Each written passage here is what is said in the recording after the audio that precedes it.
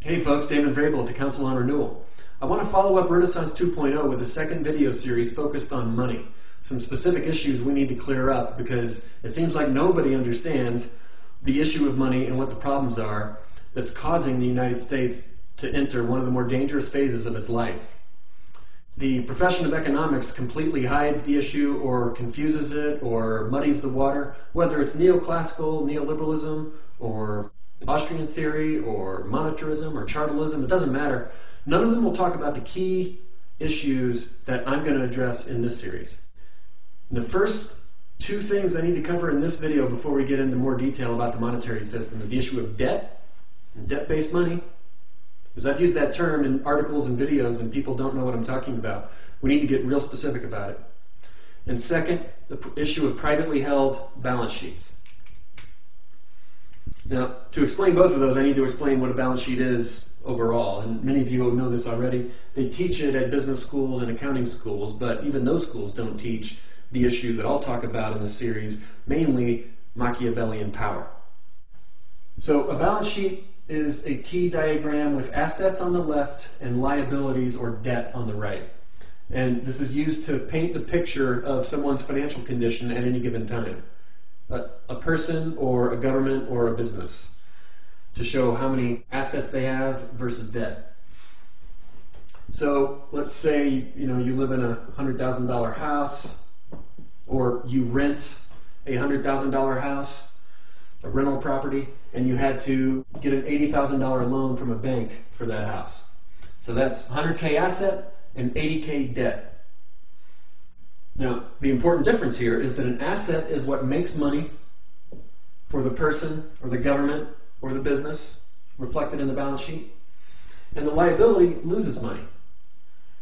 It costs you money over time, plus you owe it back to someone else. It's not something that you will keep. And in a world governed by money, where money rules the world, it's what determines power. If you have something that makes money, that increases your power, or the person, uh, or the government, or the business's power. And liability, since you lose money, it decreases a person's power. That's the key Machiavellian dynamic that no one will talk about in schools. And of course, why would they? The people with power don't want other people being taught the rules of the world. But remember this diagram. You're going to see it in a lot of the other videos. The T diagram and what makes money and loses money and makes and loses power. It may seem boring or you may wonder why we're talking about balance sheets, but it really is the most, it gets to the most important source of power in the whole world. I'm going to draw another balance sheet up here. Again, assets on the left and liabilities on the right. And this one is going to be the people's balance sheet, the population of the United States, and this will be the banking system's balance sheet. Is this a, you need to see this picture in order to understand our monetary system. Just reading Austrian theory about the need for intrinsic value, or reading the gold bugs about the need for gold backing, eh, it's not true. And reading the monetarists about the quantity theory of money, it all misses the, this issue here, where all money in our system comes into the economy as an asset to the bank. What an amazing power, isn't it? To be able to create electronic digits, put them on your balance sheet, something that makes money and gains power for you. Because they aren't really loaning anything, they're just adding electronic digits to someone's bank account. And it's people that sign up for debt. So all money comes into the system as a debt to the people. It's on the liability side of their balance sheet. All money comes into the system that way. And so, what do you know already just based on this diagram? Well, you know that the monetary system, by its very design, is designed to make money and gain power for the banks, and over time, lose money and reduce power of the people, or the government or other businesses that aren't aligned with the banking system. Whatever is on this balance sheet over here, it doesn't matter what it is. Everything else besides banks can only get debt. As far as source money coming into the system, it all comes into the system as debt. Now, isn't that a bit ridiculous to have a monetary system that only serves a few people in a nice clique over here and is designed to, to diminish the power of everyone else? And that's the first major point I wanted to make. Now, this means a lot of things that we'll get into in other, other videos, and I addressed it in Renaissance 2.0 to some degree. But one of the things this means is that Austrian theory, the Austrians who say we just need to save more and that'll fix our economy, well, it's, it's impossible to have net savings in a system where all money comes from debt. That was, that's an illusion now. It's been an illusion for 30 or 40 years. It was true back when Austrian theory was written, back when the people had money that was an asset to them, and they could store in the bank for a fee, and then the banks could use it for investment. That real savings could exist back then. It cannot exist now. now on a net collective basis, it can't exist because everyone's in debt. They can make an illusion of it by hiding it on the government balance sheet, and that's what we did for a long time. But there is no net savings. That's not the solution. The other thing to mention is that this is usury. It's monolithic usury. It's a pyramid system where a few people kind of live off the backs of everyone else. And that seemed like a good thing in its first in the first phase, in the first few phases. But now we're getting to the point of saturation. And we're getting to the point where people are realizing their debt slavery condition. And so that's a problem, having a monetary system built 100% on usury. Now, this also sets up a major divide in the world between, on the one hand, capital holders. These are the richest people in the world, the richest pools of capital in the world. And on the other, generally, we'll just say the people. So you have private capital holders versus the people. And the capital holders control the private banking system. And this is the ultimate source of power in the world. Because it's even more powerful than just owning assets on your balance sheet. Whereas the capital holders sit above even balance sheets and they use their power to control balance sheets not only do they control the banking system, but through the banking system, they control everybody else's balance sheet, all the other people, governments, and non bank businesses. So these are the ultimate Machiavellian uh, controllers in our system. So that's the second point that this is private capital. It's a privately held monetary system. The monetary system itself is privately held. Don't believe the lie that government prints money. It hasn't happened in ages. It's not true. We get liquidity, we get money from going into debt ultimately to the private capital holders. And they're not the only ones over here on this side of the world. You also have, the, you know, like the top MBAs, the people that come out of the top business schools and go to work for the elite banking system. The top JDs, the top lawyers, they go to the law firms that work with the banking system. Oh, and the top economists. Economists basically work for the banking system. It's no surprise then that they don't talk about this fundamental issue. Nobody wants you to know about that. And I don't even know if it's deliberate when it comes to the economists. The issue with economists is they don't live in the real world of balance sheet and Machiavellian competition for assets on the balance sheet. They deal with theory. In fact, I don't think I ever heard the issue of a balance sheet discussed in any of my economics courses, and I had a lot of economic training. So, not only do you have these really driven, really smart people serving the private capital holders, so it's a really powerful system, they've also learned how to get things like courts over here. The top corporate officers in the system, uh, advertising, um, top politicians, people like the president, the treasury secretary, the secretary of state, secretary of defense. They're all kind of over here aligned with the capital holders and the banking system. Basically, whoever wants to be in the world of money and power, they're over here. And everyone else is stuck in the world of diminishing money and diminishing power. The elite, the purpose of private elite schooling is to gain access to this little clique. So That's the basis of our monetary system. It's the basic divide that it sets up between the money pushers over here and the people that serve the pushers versus the money users that have to be in a scarcity condition, borrowing and paying back more than they borrow back to this side.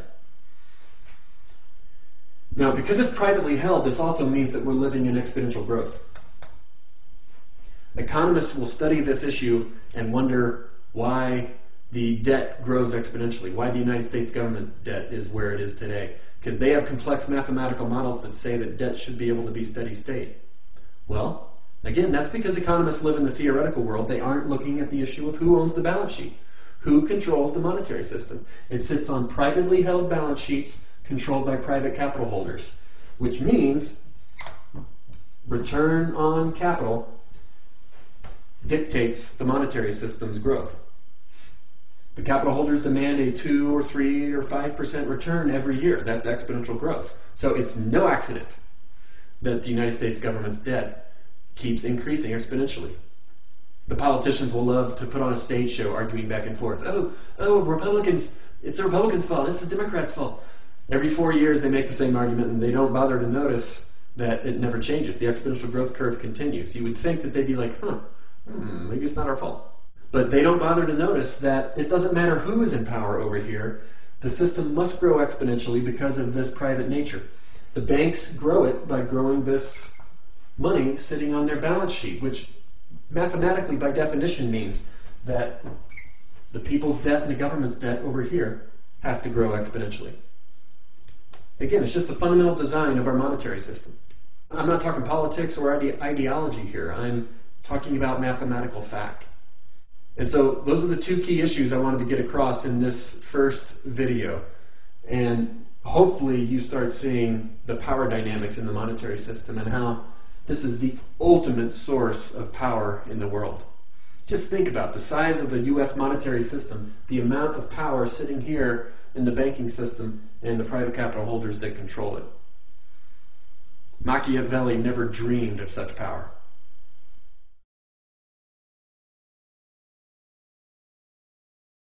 Hey folks, I wanted to talk now in more detail about the specifics of the U.S. monetary system, to go through what uh, the Federal Reserve System really is. And I talked about in the introduction this concept of debt money, which I'll explain in more detail in a different video because there's a lot more to what really backs the debt monetary system. But I talked about banks issuing money as an asset to themselves and a debt to the people. And this is a world of sort of people on one side and capital on the other, and capital interests, the people that serve capital, on this side of the world. What I didn't mention yet is that the money, the people, is attached to interest, and it has to be paid back, all of it. So this is sort of pure private sector monetary system, where you would have rich people forcing other people to go into debt to them, working for them, giving them value, return on capital. Uh, but of course, now we have governments as well. Say the U.S. government up here, which has its own balance sheet, and states, of course, which have their balance sheet. Now, the U.S. government was supposed to control money and regulate its value, according to Article 1, Section 8 of the Constitution. That's the government's explicit role. But they don't all they can get is debt. Over here on the liability side of their balance sheet. And same with the states. All the states can get is debt. And they have so much debt now that they're pretty much out of business. They're not states anymore, they're administrative districts of the capital machine. Uh, and it's just a matter of time before the same dynamic happens with nations. So, when the government wasn't doing its job, you had local banks that could engage in their own practices of inflating and deflating. So, you might have a local bank in Des Moines, Iowa, serving local farmers, like corn farmers in Iowa, and the bank might be run by capital holders in London or New York. Um, but the bank could inflate the market, and then deflate it and drive all the farmers off the land, collect the land for the banks and the capital machine, and then sell it off to doctors and lawyers and MBAs, the people that serve the capital machine, or the people that get paid by the capital machine. And that's exactly what happened. It's how the Midwestern farming industry was restructured and taken out of the hands of farmers. So the farmers are now nothing but tenants on land held by lawyers and business people. Um, and while the Des Moines Bank was inflating, you might have a bank in Philadelphia or Orlando or wherever deflating or doing whatever they wanted with their own their own uh, notes and their own banking practices, inflating and deflating. And so it was chaos. It was constant booms and busts on a regional basis and multiple currencies. And so the people, the states, and the government all realized the need for a regulatory system. They basically realized the need for the government, for the feds to do their job according to Article 1, but of course they didn't. And so we had this thing called the Fed. And the Fed would have most people believe that it sits on this side of the world and it just regulates the money pumped out by the government. That's, that's kind of the common misconception that most people have. The government prints money and the Fed controls the quantity. Doesn't happen at all. Hasn't happened. Uh, uh, well, it never happened uh, under the Fed. Um, uh, in fact, it's the exact opposite. The Fed is a mechanism by which the government is put in debt to control the people because uh, the Fed really doesn't sit on this side of the world. The real power of it sits on this side of the world. The Fed sits on both. It's really a sort of a fascist organization between big government and the big capital interests. But the power is in the 18 primary dealer cartel banks. Those are the biggest banks in the United States. JP Morgan Chase, that's the main bank. That's the Fed bank. That's the bank with the real power. Goldman Sachs, really powerful bank. Morgan Stanley, Bank of America, Citibank, um, the big banks in Britain, you know, Barclays or HSBC, the British Empire's foothold in Hong Kong and China, uh, RBC, the foothold in Canada, RBS, foothold in Scotland, Deutsche Bank in Germany, BNP Paribas, Paribas in France, the big banks in Switzerland, and the big banks in Japan. Japan? What's Japan doing in this cartel? Well, that's the end, the end result of World War II was conquering Japan, conquering Germany, restructuring Germany such that it was forced into the Anglo-American banking alliance. That's the real result of World War II, and of course it brought in the rest of Europe as well. Um, and so this global cartel, this cartel that's basically in what people would call the north region of the world and the west region of the world. It's the North and the West, and they've been the growth engine through the 20th century.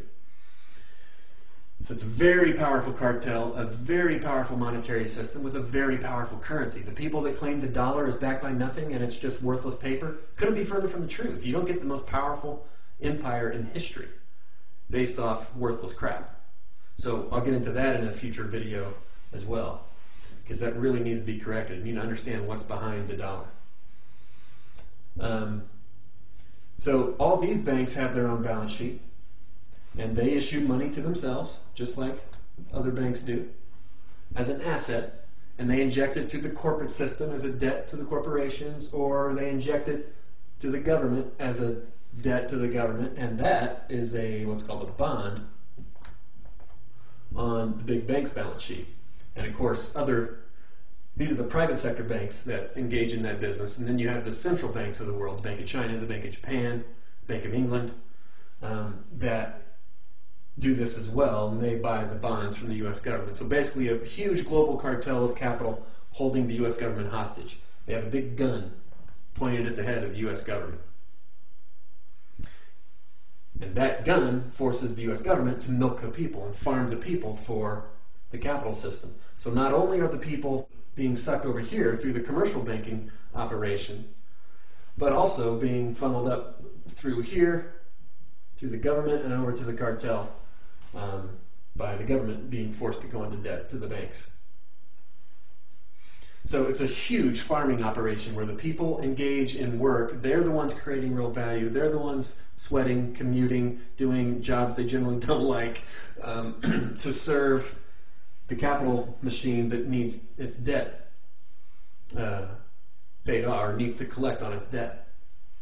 So that's um, the dynamic of this monetary system where massive monetary flows are flowing from here over to here. And then it gets injected back throughout the world because again it's a global monetary cartel and a lot of it might come right back into the united states especially in the high-tech sector as it gets sucked as high-tech products get sucked through the corporate system and the corporate system's getting capital injection from here uh, they'll inject it back through Hollywood, of course. It's really important for them to control the minds of the people. And they'll inject it, of course, through the U.S. government because they need the government to, to engage in war, to restructure the world in the way that this capital machine wants it restructured. And of course, they make massive money off of war. So those are the primary things that uh, receive liquidity, receive capital injections. And the people are forced to work for one of those sectors in order to have money. It only gets injected through limited sectors where the capital machine wants it, and then the rest of it is injected now, as you know, into the rest of the world, as we've seen the corporate system in, move production in China and Brazil and India and we see these banks injecting liquidity. You know, most of these banks are international anyway, so they're taking liquidity and value from the U.S. and injecting it into their home countries and into other countries around the world to build the global capital machine. That's the monetary system of the United States, folks. There's no sovereignty here, no sovereignty here, and no sovereignty here. The only sovereignty is over here this side of the world where the system is designed to make money and increase power. Over here, everything is managed basically as a cost center uh, where money is reduced and power is reduced over time. And then you have the elite banks also controlling not only the governments, states, and people, but also the smaller banks, because they package up a bunch of crap called toxic assets and derivatives and types of things that you've heard about in the last couple of years, and they force it onto the balance sheets of the smaller banks, all the rest of the banks in the U.S. So it's a hierarchical monetary system where the elite system has control over basically everything. There are still some small banks that aren't under this cartel's control, but just wait till the next phase of the crisis, and you'll see the government dutifully coming in because the gun to its head, taking, you know, seizing the small banks and basically absorbing them, uh, forcing them to be absorbed into the big banks. And then there's one state bank, North Dakota, that's not part of this system either. And of course, it's one of the soundest banks in the country now because it's not controlled by the private capital holders that have been removing liquidity from the system.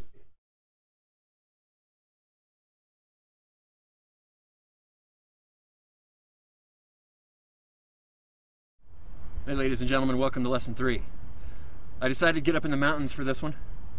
You can't, I can't focus the camera on the unbelievable views over there, so you're stuck with this. But what I'm covering in this lesson was going to be the last lesson of this series. I decided to move it up for two reasons.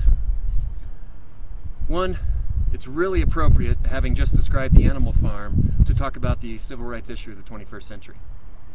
And second, I've gotten a lot of threats since lesson two where I mentioned that I'll reveal what's behind the dollar in future lessons.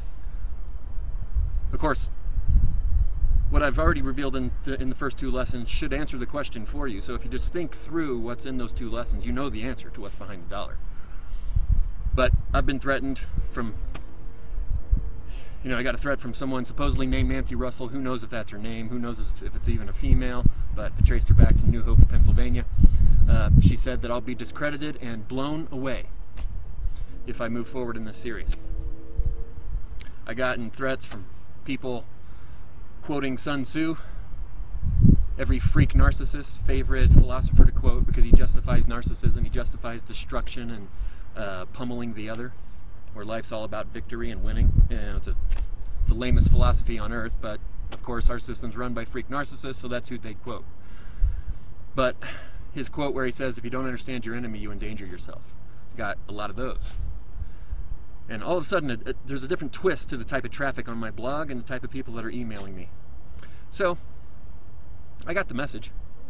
And the message is to keep chugging along and reveal this information to the American people because it's essential to solving most of the problems in the United States today and most of the problems around the world.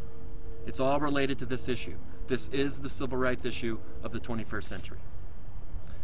People focus on international problems, you know, a lot of good people focused on noble causes like African poverty, Palestinian slaughter, Philippine starvation, South American oppression. All of those are worthy causes.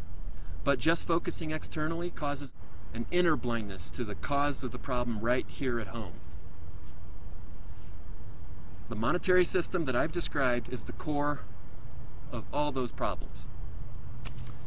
So, this is the civil rights issue of the 21st century. Adolescents are aware of this issue. You know, ever since the Eminem movement, back with the you know the White America song and stuff uh, like that, where he was venting the angst of the adolescent. Um, because they're in touch with this problem, maybe not consciously, but subconsciously, they see the meaninglessness of their parents' lives as they scramble around in hamster wheel to earn bank credit to pay debt and taxes and consume cheap products that break more and more. I mean, that's the essence of life now, and the adolescents know it. The adolescents that are labeled, you know, oppositional defiant or maladjusted, it's because they're quite well adjusted to their hearts and their subconscious and what they feel in the world. So they're aware of it. Foreigners are aware of it. People holding up signs as our media goes into their countries when they're experiencing crises, which were really just being conquered by our, our financial institutions. They're holding up signs saying, please stop the oppression. But we don't listen. Let me tell you why I'm doing this. For the last year or so, I've been on this, uh, focused on this effort to change the monetary system. Because two years ago, I was a therapist. I was counseling low income uh, or students at low income schools, low income school districts on the West Coast. And one particular student was just a beautiful seven year old, a second grader with all kinds of hope and desire for his life, but a lot of rage and sadness as well, because he didn't have a father.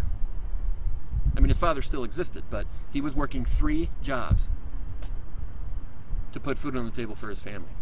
So effectively, the kid didn't have a father. And I was filling that need as a counselor, but he didn't need a counselor, he needed a father. But it's because of the monetary system that his father wasn't around. By definition, the monetary system requires most people to be in scarcity so that they're spinning on the hamster wheel, running faster and faster to earn bank credit to pay off their obligations. It's the simple math of the monetary system, and for those who think this is socialist talk or communist talk, I'm sorry you don't understand basic math. You've been fooled and indoctrinated by the Ivy League and a bunch of windbags on CNBC and the media. It's the basic fundamental math of our system. It is an elite on top living off the backs of the masses by putting them in a forced labor situation because of the scarcity of credit. Now, 100 years ago or 200 years ago, that was called slavery. 500 years ago, it was called feudalism and serfdom. Today it's called the free market. This free market is human enslavement for the people on, you know, from your perspective on the left side of the whiteboard that I've been describing. So it's a, to, to continue with the metaphor, it's a slave master and slave system. When I was counseling that seven year old, that's when I decided to join this macro effort because there are plenty of people trying to do good work, trying to participate in healing and redemption. But their efforts are suppressed by the macro system. The minorities in the third world have been trying to get us to listen for years and we haven't, but now we're waking up and so let's join the cause. All right, so, so let me speak to a few specific groups. First, to you economists. And most of you don't know about this because you're focused just on studying the economic system and not thinking about the monetary system that hovers above it. They're two different things. The economic system is the value generation system.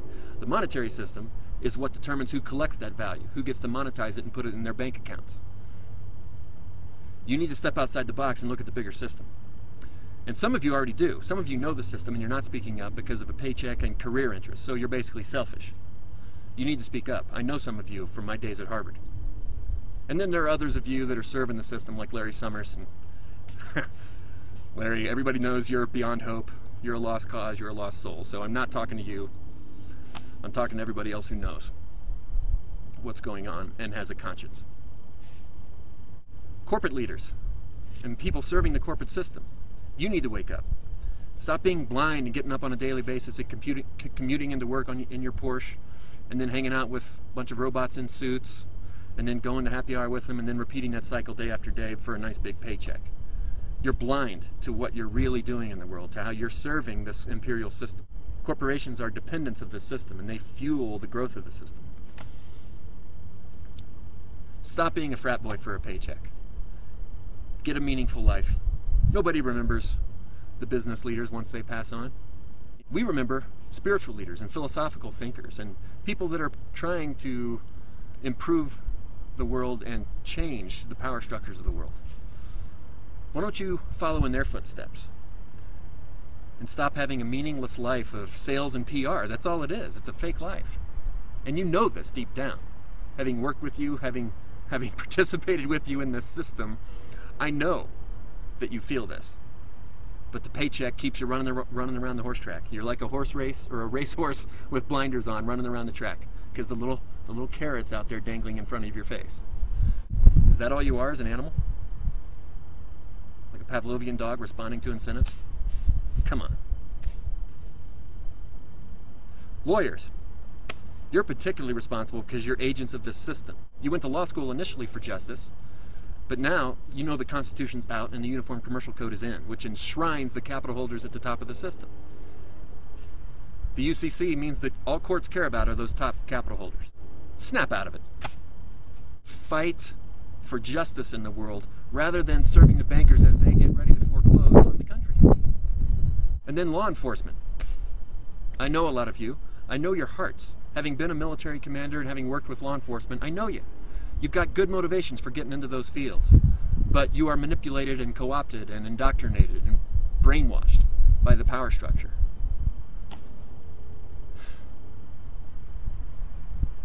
Any, any one of you that enforces an order from a court that's serving the banks and kicks the lower classes out of their homes and takes their property to hand it over to the richest people in the world, you're scum.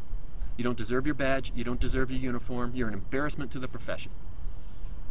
And they've converted you from having pride and doing good and serving your community to now you have false pride and this tough guy pride, this narcissist pride. Stop beating up college kids for the imperial banking system every G20 pro- protest. That's all that is, because you think you're Robocop. And then everyone else, again, what could be your story? What's your motivation for joining this cause? This problem that's causing all the problems in the world. Stop serving the imperial system. The more that we all commute daily into that system and participate in it, the more it grows. And the more it grows, the more value it extracts, the more the republic declines. It's a inverse relationship. So as that grows, you lose all your freedom. And it's time to reverse that. Stop serving this pathetic system and rebuilding the republic, rebuilding your local communities. Instead of getting up and racing off to work in the morning, get up and go out and meet your neighbors again. Rebuild neighborhoods and local communities. Turn off the television. Never watch it again. It's a joke. Do something meaningful. Join a meaningful crusade. We all have that motivation to be part to be part of, of good, to be part of a good cause. And we've been co-opted since 2001 with the 9/11 attacks and the war on terror that, to think that that's our good cause, when really that's just a symptom of this problem I'm talking about. You're being manipulated to join the wrong cause. And all the great soldiers out there, I know your hearts. I totally know. And all the military officers, especially the West Point graduates that are all about serving the Republic, and you're, you're still committed to the original American ideal, but you're being co opted and manipulated. You're being played by the Ivy League freaks running the intelligence apparatus. Watch The Good Shepherd again to see who is, who is making, who's developing your orders. And join this cause. Be the next Martin Luther King. Be the next Gandhi. Where is the next Martin Luther King and the next Gandhi? Why does nobody speak up anymore? And now we can't depend on one leader because they've co opted the national media system, and so there's no way for a, for a new national leader to lead the cause. But in fact, that's not what's going to save America anyway. The Jeffersonian ideal was that we, we self govern, we rule our own lives. Now, the flaw is that perhaps Jefferson was just dreaming of an idea that isn't true. And the evidence would suggest that it's not true, that people don't want to govern themselves. They'd rather be led. But we can't do that anymore. We need to step out of needing to be led. I'm not your next leader. And no politician is. Ron Paul isn't. We've got to lead ourselves. We've got to be our own king and be our own queen, and be our own sovereign. And then the system will start adjusting. Now, Martin Luther King said that our lives begin to end the day that we become silent about things that matter. So here's the question When you get up in the morning and look at yourself in the mirror, are you dead?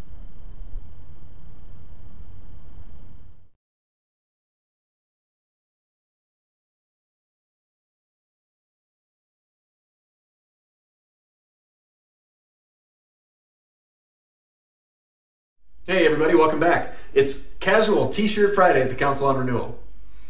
You know, I've gotten some grief for not looking the part of an expert. I guess for not looking like Robert Rubin, Jamie Dimon, Hank Paulson, and the types of people that have brought the global economy to its to the precipice. We've been trained to think they're the ones to listen to when they are just salesmen on TV repeating whatever they need to say to sell you into your own destruction in return for a paycheck. It's the type of people they, they are. So I specifically made a decision at the beginning of the series I wasn't going to do that, is I wanted to break out of that paradigm. I wanted to see if we could break away from uh, the indoctrination to look to those types of people for expertise. When we should be listening to normal people. When I was a kid, you know, the types of people worth listening to were the farmers that showed up at the donut shop in overalls and they had mud on their boots because they're connected to the ground and they do real work. That's an example of the type of people we should be listening to. Wendell Berry is one particularly uh, important sort of modern prophet that I think we should be listening to now. We should be listening to, as I said, just normal people. We should be listening to, you know, the adolescents in our neighborhood. Adolescents have an amazing ability to see through adulthood uh, fakery. I don't know why adults don't have this ability, but adolescents can sense when someone is kind of just being a schmuck, even though they have a suit and they look good. Adults get sucked into the establishment way of thinking. We must break out of that. If we can't break out of that, there's not much hope because Wall Street's always going to be able to find a better salesman than me and the other people that are trying to reveal the truth. I've also gotten some grief for the small whiteboard. And uh, again, I decided I'm not going to build a CNBC studio to make it look all professional because all that's fake. That's all fake setting designed to make you think it's ooh, it's more important than you. It, it's, it, the people that are there are more credible and part of this important machine that you're, you and the, your neighbors aren't a part of. And so you as sort of like unimportant people need to listen to these important people. I, that's so important to break out of that. So I just decided to go with this and I wanted something I could throw in the back of my truck and take on the road and do these videos wherever I am. So I hope that uh, small whiteboard and dress doesn't affect your ability to discern truth and competence from spin. In this lesson, I wanted to revisit the first two lessons. Um, I got in, I got an objection from lesson one that I wasn't completely explaining the monetary system because people said, "Hey, you know, all the money isn't just debt to people; it gets deposited in banks, so it's a debt to the bank, and it becomes assets of the people uh, because it's their deposits in the bank. And yes, once the money is injected into the system, then it starts adding up as people and businesses and banks all interact. The money circulates as a medium of exchange at that point, and then both sides of the balance sheet start adding up. But that doesn't change the fact that it was all injected into the system initially as a debt to the people. It's just like a Vegas casino. When you walk into the casino, you have to borrow chips. And then you get to sit at the poker tables and circulate your medium of exchange and try to collect more of the chips. But at the end of the day, when you walk out, you have to turn all your chips in. Exact same thing with the banking system. All the electronic digits out there are chips owned by the banking system that you have rented and you get to use while the game is on. But at the end of the game, which is basically in deflation when the capital holders start pulling their chips off the table, and the banks have to call their chips in. That's when you see who controls all the chips. Even the stuff that you thought was an asset on your balance sheet, it's not. It's a conditional liability. It's all borrowed money. It all unwinds back to here. And it gets sucked back here and to here. So that's the way the monetary system works. And all the power is over here on this side of the world. But this issue of power is the key.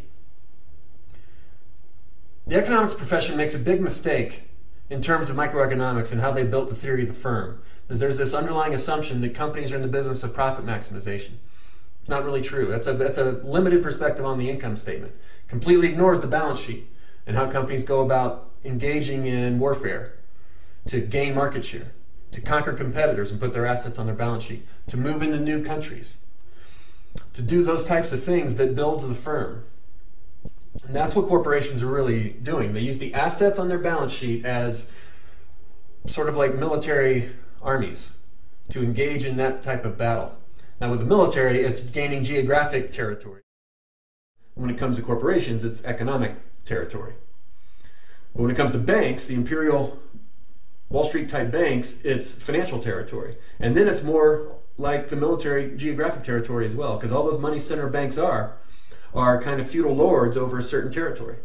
They control all the money within a certain territory. They control the chips that the people and the businesses have to use. They're the casino house for that territory. So, economists that just model the banking institution for sort of steady state profit, they get it wrong. That's not what these imperial banks are all about. They're all about gaining ground. Um, we've seen this in the past with uh, you know Chase Bank working with institutions like the IMF, moving in to conquer countries like Argentina. We saw it in 2008, where Chase basically conquered Seattle by incorporating WAMU onto their balance sheet. They conquered Bear Stearns, incorporated them onto the balance sheet, and so J.P. Morgan expanded its power, gained power through the through that process. To get real specific, J.P. Morgan has like 75 to 78 trillion in derivatives under its control, notional purchasing power that hovers above the economy. Huge power base. And that's like 22 times the size of the US government's budget. So, who has the power here? This is a parent child relationship. One of the big sources of control and power over a kid that parents have is the ability to control the money. They, they basically control the liquidity that flows through the children. Same exact thing here. The U.S. government has to come to this capital machine every week or two with its hands out. You know, please feed me, please give me my allowance for the week. It's in the subordinate position. And that 78 trillion is not only 22 times the size of the budget, it's more than five times the size of the whole American economy. That's massive power, all controlled by just one of these 18 imperial banks. So Add all 18 together. And then that's just the sell side banks. It's not including the buy side power over here, all the hedge funds and the foundations and stuff like that. That's all part of this global capital machine. That is immense power. It's the most powerful entity on earth. Now, it's not like it's a smoothly run entity where everybody cooperates together. It is ruthless competition here, deadly competition. But there's a hierarchy in this machine the bigger capital pools have hierarchical power over the others. And they all work together in terms of financially um, being aligned to maintain their power over controlling people's and government's money. Because the power and wealth that comes from that is, is immense. And it's not just the US.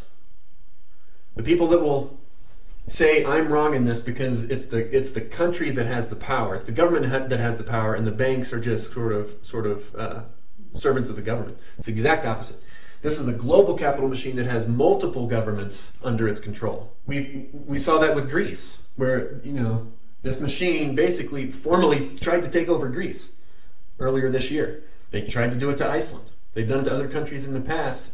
Um, Ireland just last week was talking about negotiating with this machine in terms of how they're going to share the pain that the Irish people are going to be in now. And in the process of negotiating with different institutions over here, they were letting the most senior capital holders know, the top bondholders know, hey, we're not messing with you guys. You guys will get 100% of, of your money back. That's that's a government that we're trained to think governments run the world. That's a government going to a small group of people saying, hey, we submit. So it's a demonstration of who really has Machiavellian power in the world. Then after lesson two, you're probably looking at this diagram saying, you know, come on, man, tell us what to do about this. Um, and I'll talk about this later in other videos, but just to get to some of that now. Some of you are probably looking at this diagram and saying, hey, it's just in the Fed. That's a big movement now, right? And we can solve the whole problem by just ending the Fed. I think the reason that's a big movement now, and it's in the mainstream media and being pushed even, is because a certain faction within this capital machine wants that to happen. They'd be happy with that. They've largely moved the capital to Asia. They've transferred the production machine to China.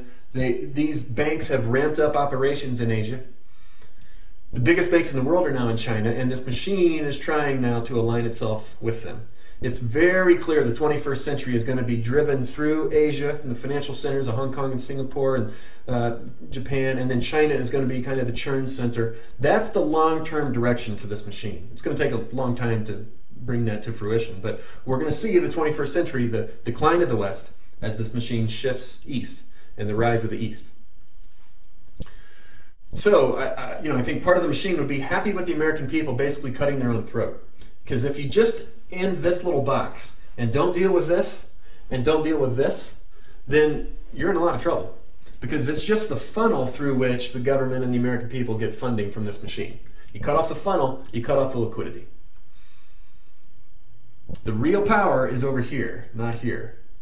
The central bank is just the method to capture a government and take it private, submit it to this capital machine. So that governments are now capitalist entities just like corporations. It's a, it's a big myth that there's a difference in socialism, capitalism now, and the, the left versus right debate, and business versus government. It's all controlled by this machine now. Or at least that's, that's the goal. Governments are managed as capitalist entities. Their financing is exponentially driven. So, that, so the government has to manage itself for exponential returns. You have to pay off the debt holders. It's one of the reasons warfare is a big deal because the government has to be able to provide collateral and service the debt that it gets from this capital machine.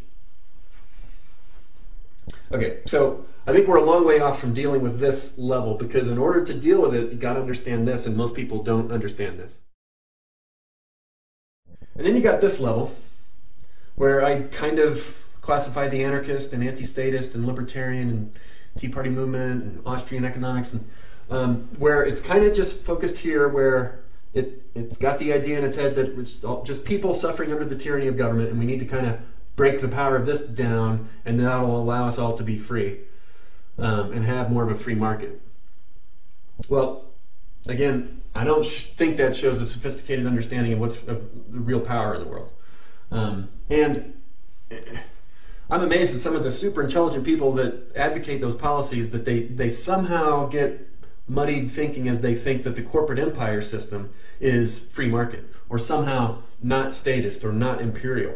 The corporate imperial system has been built under this capital machine. It is a global system that has no national loyalty and has no accountability to people. It's all the accountability is up here, and the corporations are dependents of this system. They're basically sort of the, the servants of the system that are out there churning the bank liquidity and capturing value for this machine.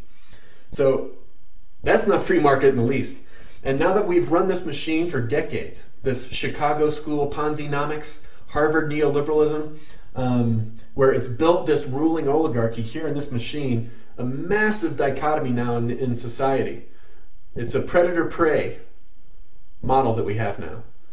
Wealth and uh, power disparity is bigger than it's ever been in history. You have a ruling oligarchy now that's possibly the most powerful ruling oligarchy in history, at least in history for a long time.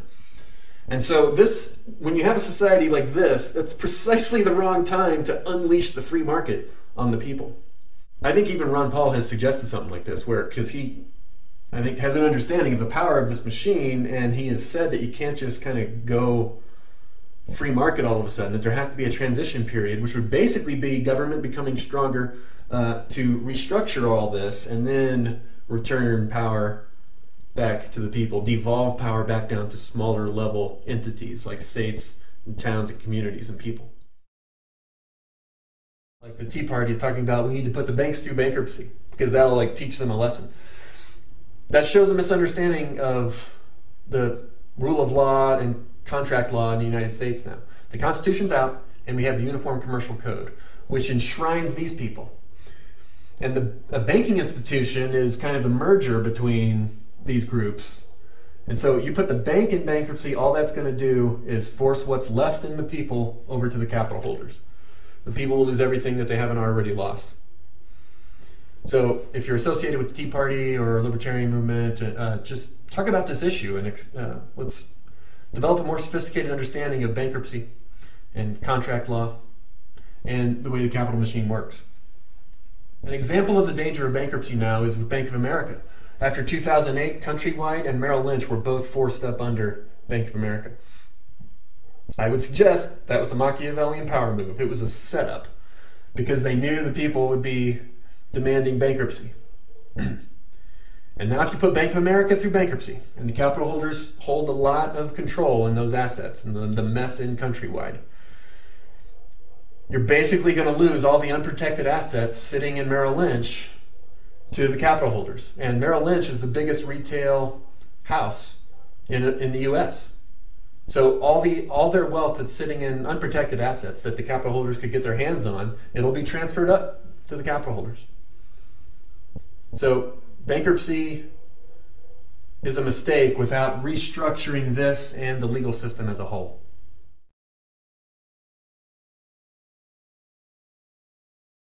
Hey everybody, welcome to lesson four. I decided to go with a college football motif in honor of all the frat boys out there in the corporate world. Now in this lesson I wanted to try giving you an alternative lens to use when looking at the global scene. Just like in lesson one of Renaissance 2.0, I said if you keep thinking that we live in a free republic, that you're going to be constantly frustrated because that just doesn't jive with reality in the US today. When you have a disconnect between your mental framework and reality, that causes, you know, confusion and frustration and psychological stress. And so I think it's useful to understand uh, not only the country we live in, but also the world we live in. And if you're just listening to like the TV and the newspapers, the, the daily worthless noise we get, you know, and we're trained to go to those sources for news, but it's all worthless news that doesn't help because they suggest that the world is just a random array of countries where the governments have the power to act on the world scene. Well, if that's your lens, then you're going to have a hard time understanding things like, huh, why are so many countries now uh, in their banking systems at the point of uh, collapse? Why is that a common trait across so many countries? Why are so many governments over their head in impossible debt? Does it make sense if every country is a random independent uh, sovereign body?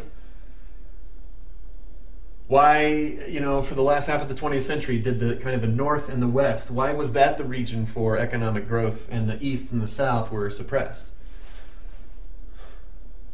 again doesn't make sense if it's just random sovereign countries where politicians have the power so i propose an alternative lens that you can use that's not necessarily you know 100% true 100% of the time in 100% of the regions. But I think it's a useful lens to use when you find yourself confused and frustrated about what's going on and why, you know, if you believe your your individual country has power and the politicians there have the power to really change the world for you and the citizens of that country, then you're you're going to be stressed out. So I would suggest viewing the world as a um, kind of something that has a central capital machine.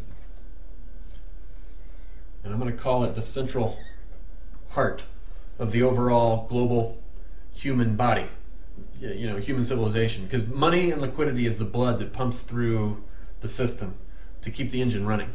And most countries don't have their own autonomous monetary system. Some do, just so happens that those correlate nicely with the, uh, the ones that get um, the focus of like intelligence agencies and militaries and things like that. But most countries don't have their own independent uh, monetary system. Rather, there's this central capital machine, and people want me to name names here, but it's not about naming names. It's a, it's a system that incorporates and sucks so many people into it. You know, th there are institutions at the top, like the World Bank, the IMF, the Bank of International Settlements, um, and and then behind those are a lot of private capital, the biggest global capital pools in the world, multi-generational wealth, hidden in a bunch of LLCs you've never heard of, and equity partnerships and foundations and some of the hedge funds and stuff like that. Um, and of course, it's not like all of these are cooperating nicely. There's there's competing factions within the machine.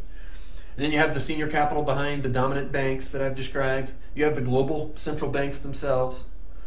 Um, you have the corporate system that's been built under the capital system.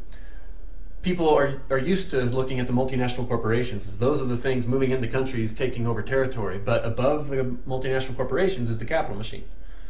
You know, you need the capital regulatory environment in order for corporations to move around within them. It's like, you know, being on a football field. You, you need the rules of the field and the refs and everything to, to uh, you know, for the teams to have freedom to maneuver and play the game. Same thing with corporations. They need they need the game board on which they can play. And so this capital machine, they're the ones that determine that that continually expand the game board as they try to move into new territories around the world. And then you, you have neoliberalism, the dominant economic philosophy in the US that's been used specifically for that purpose to expand the game board, to justify breaking down national sovereignty, breaking down borders at the country level, uh, so that the capital machine and the corporations under it have freedom to maneuver wherever they want. So, despite all that, despite the fact that we see the global bond uh, market, the global central banks, the global regulatory institutions, the dominant senior banks that operate multinationally, and the multinational corporations, and then the philosophy of neoliberalism that's been used to justify all of this. People will still say what I'm going to describe here isn't true. Well, good luck with trying to uh, make sense of the world when if you think that it's just a bunch of random independent countries because it just doesn't fit with what we see on the world scene and we see a manifestation of this capital machine, this central engine, at things like, um, you know, the Economic Forum in Davos. You see the multinational corporate uh, elites getting together and hobnobbing together, and that's the that's that's a manifestation of the people that are that serve this machine. And a lot of them don't have a clue what they're doing. They're just they're just getting nice paychecks. They've become billionaires because they're good salesmen. Um, and they have no clue that it's all controlled by the top-down capital machine. And then you have, you know, the types of people contributing to this. It's it's your average person in the corporate world, or you're at, you know, like the top MBAs, people coming out of the top business schools that go to work for the dominant banks. They're serving the system. They have no idea strategically what they're doing. They're just getting the paycheck. You know, they come right out of school and they get two hundred thousand dollars a year. That's that's a nice incentive to serve this system. Same thing with the top law schools. The top graduates that go to the law firms that work for the banks, they're, again, they don't necessarily know what they're doing, but they're building this capital machine, and building the power around it that is uh, becoming more powerful than countries. You know, you go to New York and there's bank skyscrapers and there's the law firm skyscrapers, and they work together to create this system. And it's not just in New York. You go to, you know, I mean, this this capital is uh, you know the senior capital, like the capital firms that I mentioned, and the LLCs. There's a lot of it in like the Upper East Side of New York, but it's all over the world. You know, there's a lot in San Francisco, a lot in Boston, a lot in London, uh, Tokyo, Frankfurt, Paris. It's all over, but they're all aligned and integrated by the global bond market, the global central banking network. They've run the world for the latter half of the 20th century with this divide, where we had the North and the West that were pumped up and inflated, and then the East and the South that were suppressed. Um, and this isn't mythology, this is the Federal Reserve primary dealer cartel that I've described in previous lessons and in articles. Um, you know, the primary banks in the US, the primary banks in Europe, and the primary banks in Japan and then the dominant, you know, British banks and other banks that have power in Hong Kong, Singapore, and Canada. So this is an integrated banking alliance that has pumped up this region. You know, like the dominant uh, arteries or the main aorta coming off the heart has been pumping up through here and pumping out over there. So that's been inflated while I would suggest interests associated with the capital machine or governments that are aligned with the capital machine have kept this region repressed. You know, we've seen communism here and different form of control now, same thing with China. India, we literally saw the British Empire move in, try to take over with troops, but that didn't work. And then the capital machine moved in with banks, And 40 years ago, Indira Gandhi, Indira Gandhi um, nationalized the banks to defend India from the invasion of the capital machine. But at the end of the day, it didn't work. It shows you the power of this machine. It just keeps coming and coming as it inflates and gets more powerful. Um, at the end of the day, India has been subsumed into the machine. It's now part of the multinational corporate uh, territory. Africa, you know, we know the British Empire and other powers have fomented chaos there for a long time. Central and South America, same thing. We see a lot of chaos. We see a lot of cronyism. Um, we know that the U.S. government has been involved with that, and um, Anglo-American financial institutions have been involved down there, overthrowing governments and stoking uh, fear and chaos. So there's all different forms of maintaining control or preventing alternative power bases from forming.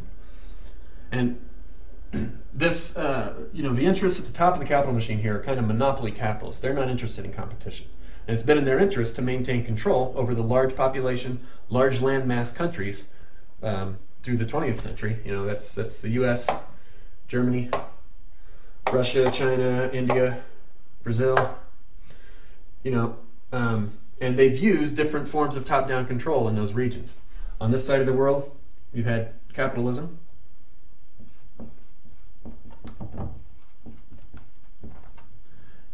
And we're trained to think that's freedom, that's free market, kind of bottom up free activity.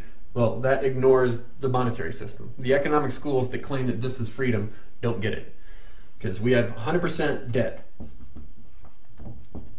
100% of the liquidity driven through this capitalism, this form of capitalism comes from here. It's all top down injected through from the capital machine through big government and through big corporations. Those are the main control systems that they want to use. And as liquidity gets injected through those systems, that sucks a lot of people into working for those systems. Because if you want a decent wage, um, you have to you have to go where the liquidity is. So that's why we've seen, you know, in this version of capitalism, we've seen the destruction of Main Street, destruction of local communities, um, because the capital machine isn't interested in local community. They're interested in top-down control systems, hierarchical control systems like corporations and big federal government, not not local community government. So this is a form of top-down control in the high growth areas. And then in the area of the world where it's not high growth and it's kind of steady state because there's no arteries coming through it, it's just kind of small capillaries of capital that's allowed to circulate to maintain a subsistence level uh, of population or a steady state um, economic system. And you know, there's been multiple systems over here, but let's just say the most the most popular one is, the most famous one, is communism. So that's another top-down control mechanism in a region where there's steady state activity.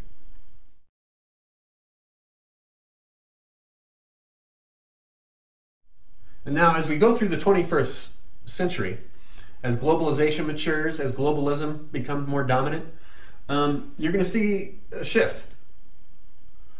Because right now we have the North and the West kind of up here, and the East and the South down here. Well, globalization is going to mature and they're going to reach parity here. So this side has to decline and this side has to grow. So you're going to see the capital shift. And it's just the natural result of market forces um, after you know neoliberalism and the people that are trying to expand this capital engine have, have gained new territory. So with things like GATT, that opened up the capital machine to new regions of the world. And so just, just the natural math of the financial system requires now that the corporate system shift to this region and the capital shift to this region because that's where the returns are. Return on capital, that's what drives this system. And so there's less return on capital that's possible up here. So this is going to shift. It's not, it's not conspiracy, it's simple math. Um, and you're going to see uh, a new form of top-down control in this region because capitalism, the debt-based form of capitalism we've had driven from banks as you're growing and it just increases debt well, that debt is a control mechanism over the population. Well, now that that is declining, or at least reaching a steady state, or potentially collapsing, um, you're going to need a different form of top-down control up here. I would suggest they've chosen the China model, as we see the same types of police that we've seen in China for a long time now. We see them in other regions of the world. You know, it's the Darth Vader stormtrooper cops that come out in force uh, and demonstrate that they're an army against the citizens at economic meetings. We've seen all those protests at WTO and G20 protests and things like that. They look exactly the same across all the, you know, this whole region and this region. Um, straight out of the Star Wars series. I mean, you know, they're big black uniform, big armor, big shoulder pads, you know, big narcissistic um, images and helmets uh, and billy clubs that look like lightsabers. so that's the system that we're seeing now being implemented, and I would suggest that that's akin to fascism. Now, some countries up here have been living in soft fascism for a while now, the corporate type fascism, but we're shifting now into a harsher form of fascism to maintain top down control. And uh, you can an alternative perspective on fascism is to view it as a restructuring process, taking a country through foreclosure. We saw in Germany, you know, World War II was started because of the economic chaos and the debt situation Germany was in. Fertile ground for a dictator to stir up uh, opposition and and uh, and try to fight the powers that have it in debt. Um, and then the Allied response to it, part of the priority was to collect for the creditors. We saw that in 97 with Clinton's Iraq Liberation Act, too. One of the primary justifications for um, regime change and invasion of Iraq was collect for the creditors. Wars are always driven by economic uh, issues. So, um, so that's an alternative way to view fascism, where Germany was foreclosed upon, it was restructured. They cleared out the debt and liabilities, um, restructured everything such that it was aligned with the capital machine, so that it could grow with it through the latter half of the 20th century. You get glimpses of this in a movie like Schindler's List, where the primary narrative is the anti-Semitic, uh, you know, the Jewish narrative, and you see little scenes where cops or the Gestapo or whoever is taking suitcases of things from the prisoners, and they're dumping them in, in piles and taking everything of value, every piece of metal, every piece of jewelry, and accounting for them. You see them writing very detailed notes in, in ledgers. That's accounting. That's banking. That's a foreclosure process you see happening. They're, they're clearing out the debt and the liabilities. And in that situation, it, they, they viewed humans as liability. And then recovering the assets, re accounting for them, and reallocating them to the people that had claim on the assets. So I think you're going to see that sort of foreclosure process happen to clear out the debt that's in uh, some of these countries. I mean, countries are have impossible levels of debt now. And as Michael Hudson says, debt that can't be paid won't be paid. True. But debt that won't be paid is going to be cleared out and collected upon by those who have power. So I think you're going to see fascism in the US, potentially other British colonies, because they've been used to the high growth consumer type system, and that's changing. They're going to clamp down on it now.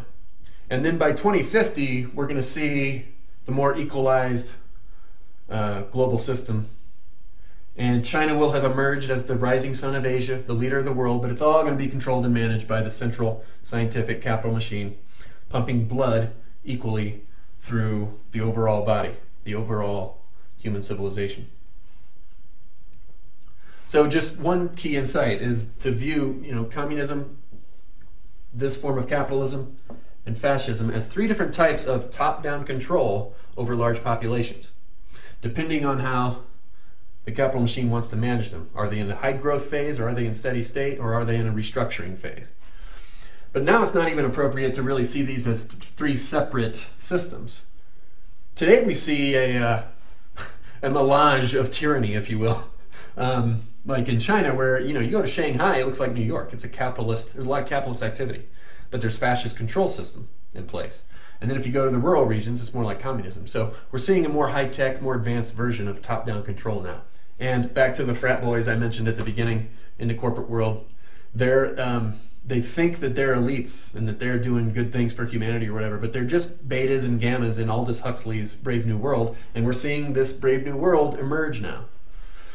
So, just like in second grade when those guys would get the gold star from the teacher and take it home to mommy for the pat on the back, they're doing the same thing now in the corporate world, where the paycheck is a, is the constant reinforcement mechanism to say yes yes, Johnny, you're doing a good job.